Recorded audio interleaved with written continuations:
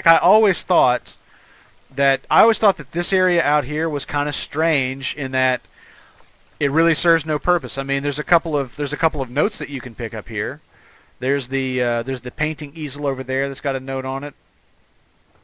There's a um, there's a book right there standing on a table that has a note on it. You've got the mine entrance that you know doesn't do jack,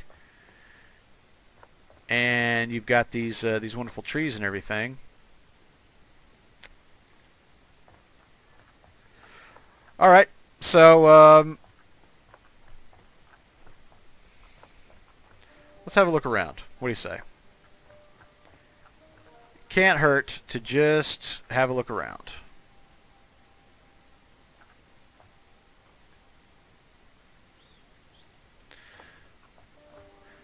And by have a look around, I mean let's form a grid, let's work a search area,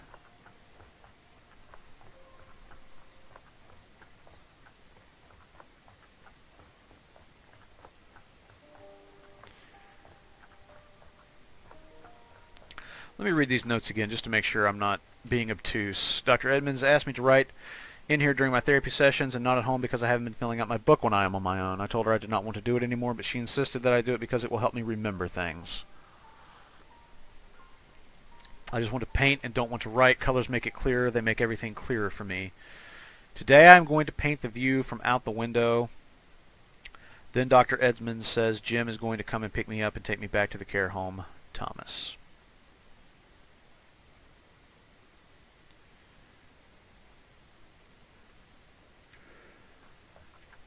It's not really shaking anything loose for me.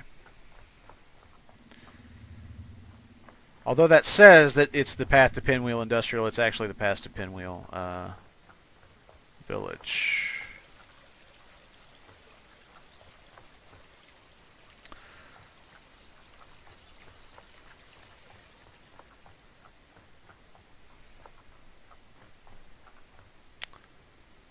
Traumaza says take out the metal detector and scan the area.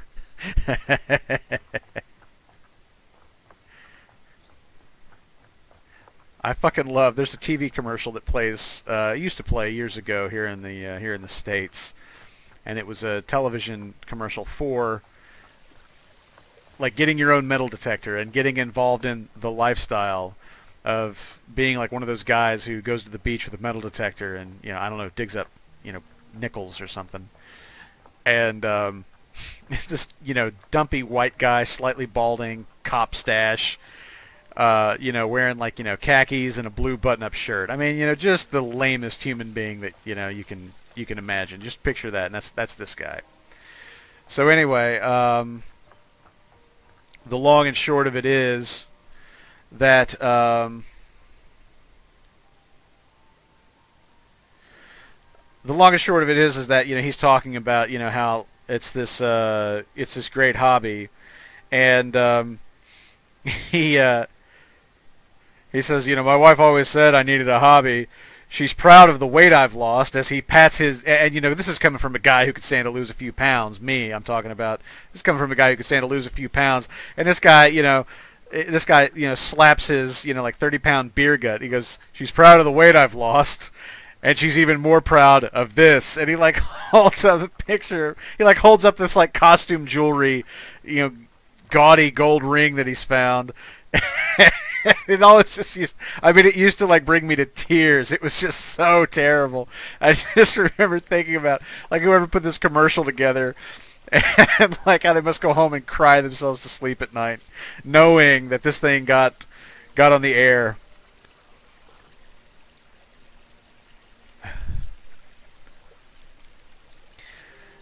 All right.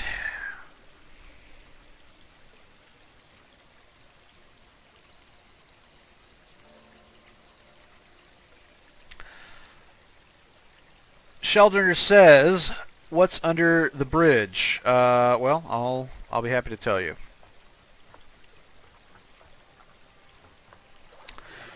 Uh, under this bridge is a uh, is a little bit of debris and not too much else. A little bit of a dam kind of thing going on. Hey, what do you know? The jump the jump feature worked. That's like only the second time in the game it's worked. Uh, half the time you jump and you can't get up on top of anything.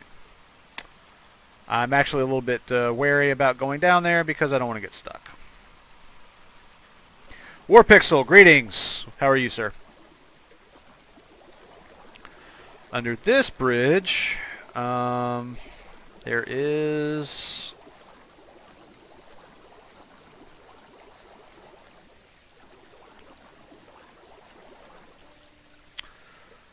Nothing.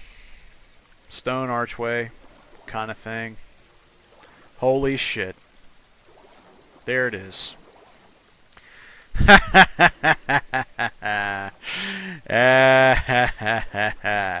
Sheldon, I uh, I need to ask you. Did you know that? Did you know that was there? Were you were you leading me to that, or were you just asking because you suspected, or just out of curiosity?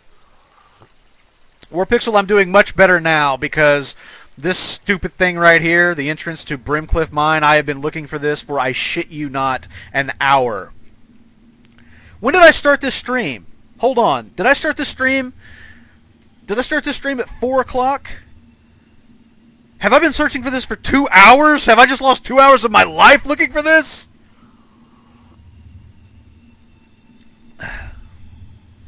God.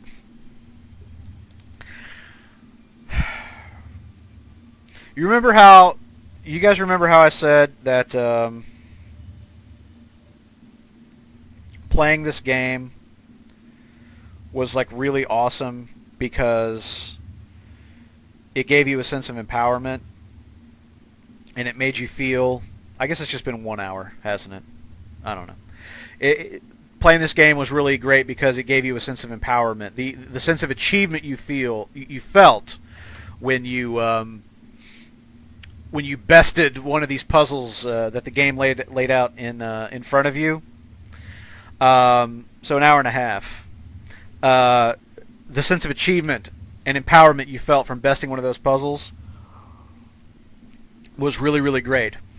The downside to that, the valley to that peak, is that when you fail miserably at the game and you don't find the stupid fucking entrance to the mine because it's camouflaged by mist and gray rock and you walk past it like a dozen times and still don't see it, when that happens, you basically feel ass raped. I feel ass raped. An hour and a half, but we got here. I want to thank everybody uh, who helped with this because I didn't I didn't find that. I mean, I, I didn't you know like I didn't come across an oh ho what's this? Uh, that was that was several of you guys telling me, "Oh, you were warm over there. Oh, you should go back here." And that was you guys. Thank you.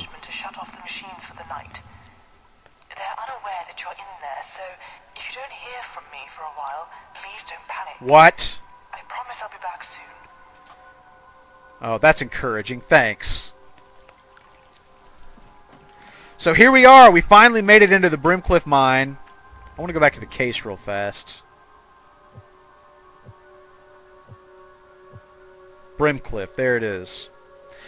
Was that there before? Was no, that was not filled in. That was not filled in because I was going to say like I'd be looking for a fucking hole in the side of the mountain if I'd seen that.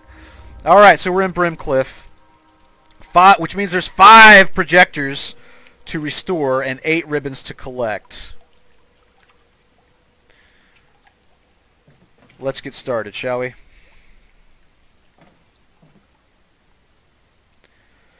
Let's not take anything for granted. We're just going to look around here. That's awfully modern looking caution tape in this mine from antiquity.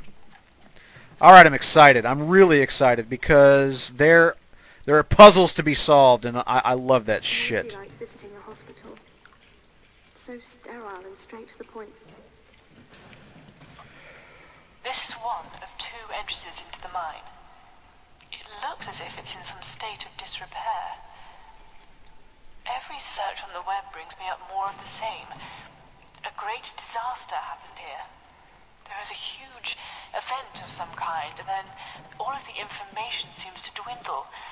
I'm trying to find some more information for you. All right, so a couple of things are, are jumping out at me right now. Number one, we've seen this uh, we've seen this valve control before back in the Devlin mine. As a matter of fact, there's a diagram for it uh, right over here. Devlin mine beam engine diagram. Um, and then you've also got uh, this right here, which uh, this original diagram, like I said, this is from Devlin. This is from one of the first areas of the game. Um, I don't think the configuration is exactly the same. That one has got a high one on the left. Like this high one here is like over here on the left. This one, let's see, this is it's got five. Mid, low, high, low, mid.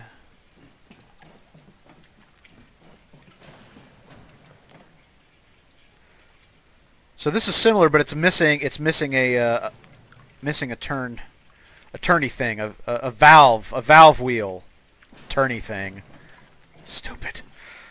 Please ensure all valves are in correct position before activating lever. I'm assuming that's the lever they're talking about. Let's see what this note says. I don't think I understand. I don't think I want to. It's all underwater now, and nothing is left. No voices, no whispers, no knocking, no life. The look on her face when I told her. She already knew. It was so loud when it happens, I think they all knew. All gone. It could have been me. Thomas Fletcher. Now, of course, from uh, from playing the game, um, there's a projector.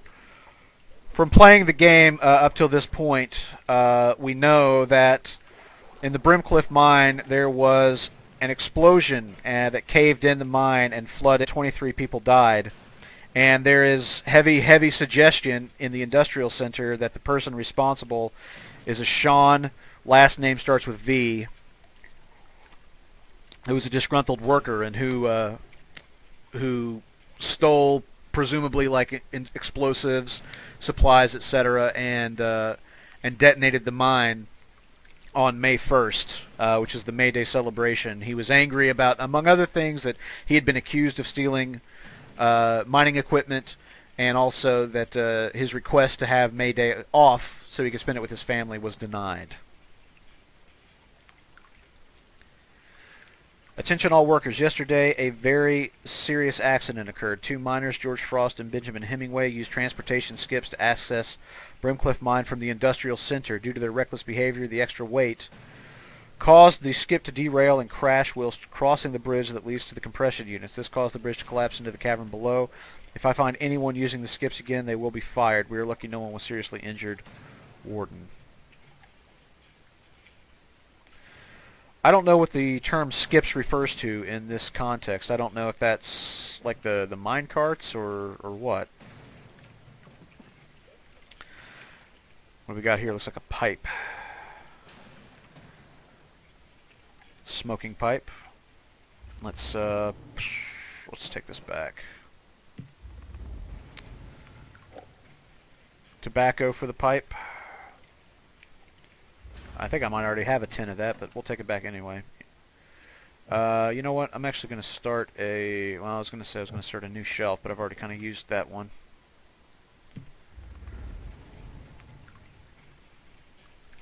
Uh, MV is warning everybody in the chat room. Uh, major spoilers in this area, if I remember well. So, for those of you not interested in uh, in having anything spoiled, uh, you might want to uh, you might want to heed that warning.